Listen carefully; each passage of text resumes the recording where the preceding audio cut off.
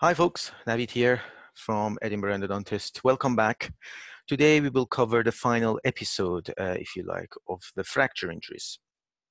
Uh, if you have not watched any of the previous clips, I suggest you watch them from infractions, which is number one in the list to recap.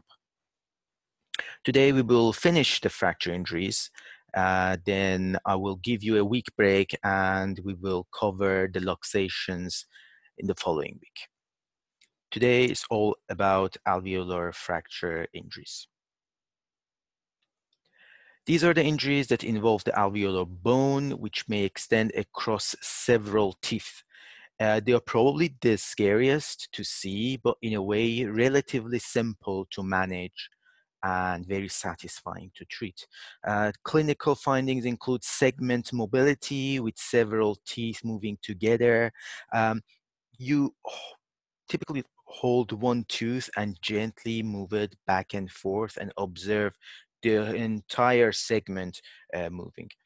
Changes in occlusion due to misalignment and movement of the fractured alveolar segments and generally association with luxation injuries such as avulsions and lateral uh, luxations are part of the clinical findings. But please note that we are talking about alveolar fractures here, which is the fracture of the alveolar process the bone surrounding the supporting, uh, surrounding and supporting the roots. It is not a jaw fracture or a Le Fort type injury. So make sure you complete your systematic examination. Check for other signs such as buccal sulcus bruising beneath the zygomatic arch, uh, for example, or bleeding from the wisdom teeth may suggest um, uh, the angle of the mandible fracture, check for orbital bruising, check for depression of zygoma, uh, check the nose, the nasal bridge, facial asymmetry, anything suspicious, send the patient to MaxFax. Look for bleeding, for example, uh, from the nose, ears. Ask if the, there was any loss of consciousness or if the patient uh, is disorientated. If in any doubt, send to MaxFax. Um, what we are discussing here is alveolar process fracture uh, in the absence of all the other signs mentioned. But your standard assessment remains the same for all types of dental trauma. Um, take multiple angle radiographs and OPG for an overall assessment. Uh, you can then check the position and course of the fracture, which is a radiolucent line or lines between or over the roots and could be vertical or horizontal. These lines could be at any level from the marginal bone to the root apex to be classed as um, alveolar fracture. Anything beyond this is a MaxFax job. Management in both dentitions involve repositioning the segment under local anesthetic and splinting using a flexible splint for four weeks. So it is a flexible splint. Identify the teeth outside the fractured segment, so the bits that don't move, and use a splinting technique that we discussed in root fractures uh, to, to provide this, uh, the flexible splint.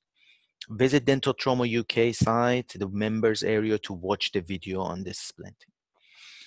A tip for repositioning of uh, fractured alveolar uh, process just imagine what we are talking about a fracture of alveolar process from the marginal bone to the root apices.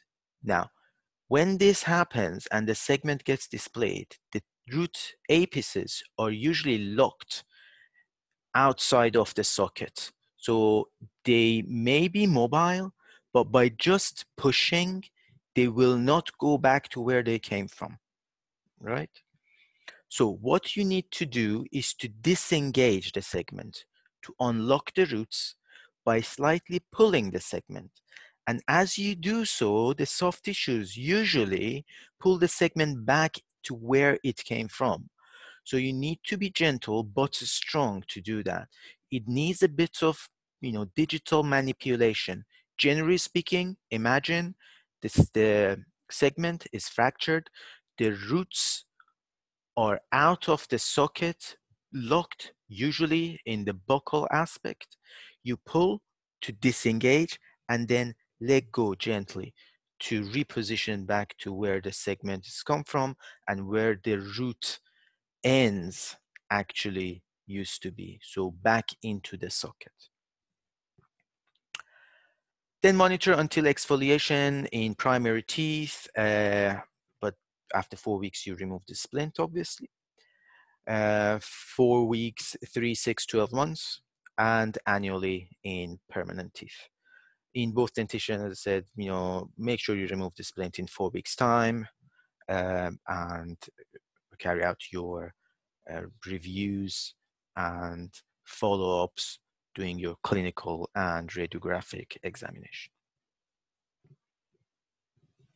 Okay, well done. Um, you've made it to the end of the fracture injuries. I'm just going to sum up what we have covered this week.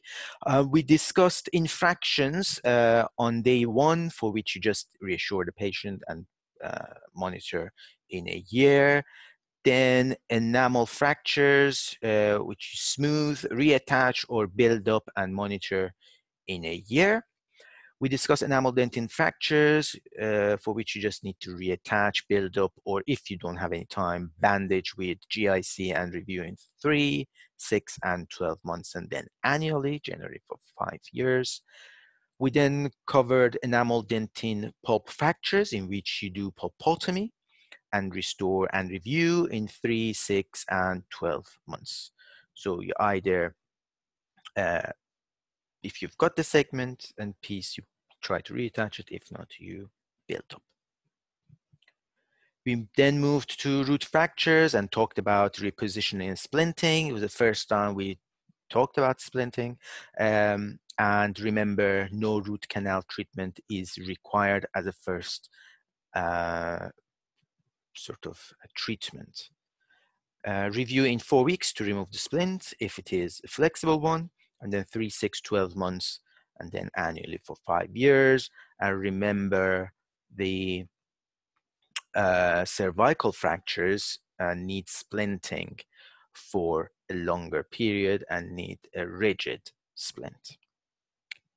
Yesterday, we covered crown root fractures with or without pulp exposure. So depending on the severity, you either reattach and uh, review or do pulpotomy or root canal treatment or extract. This was the first time we included root canal as the first line of treatment. Finally, alveolar fractures that you reposition and splint and review as above.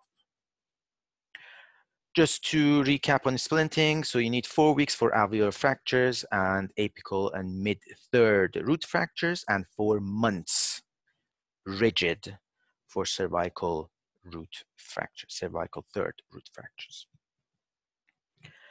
Thank you very much, folks, uh, for watching this series of clips. Uh, come back next week for luxation injuries. So give you a few uh, days break and then we cover the luxation injuries. And please visit the Dental Trauma UK uh, members area for the video clips on repositioning and splinting. Stay safe, take care, and goodbye.